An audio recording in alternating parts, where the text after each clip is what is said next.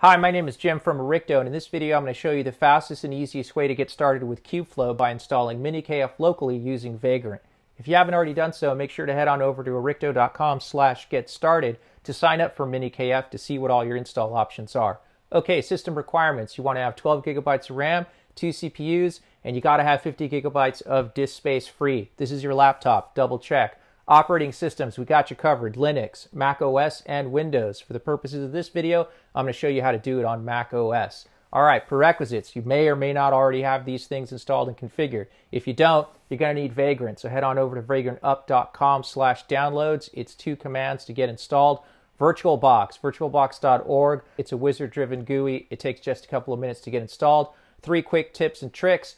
If when you are installing you see a VBox Manage error, it probably means that, especially on Mac, you need to go to the system preferences, security, privacy, and make sure to authorize VirtualBox as an application that can access the system.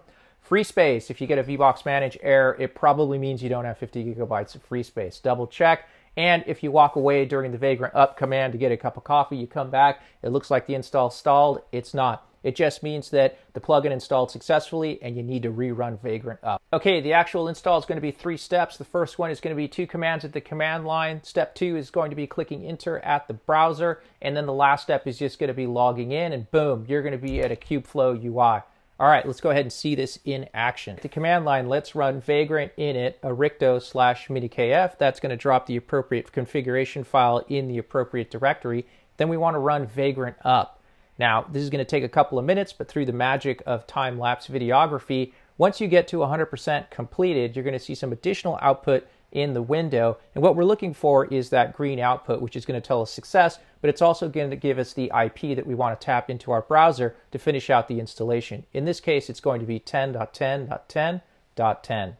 So let's go ahead and tap that IP into the browser. And from here, inside of the MiniKF uh, visual installer, just go ahead and click enter and the rest of the install should go smoothly. And once it concludes, what you want to do is you want to grab the username and the password um, that you're going to see here, and you want to put that into the login screen. And once you successfully log in, you're going to be at the Kubeflow UI. And from within this UI, you have a couple of options. One is you can work through the tutorials that are highlighted there. Second, you can read through the documentations. Or third, you can stay tuned for a subsequent video which we're going to show how to navigate the Kubeflow UI so you can start taking your models from your laptop into production. That's it. Thanks. Happy Kubeflowing.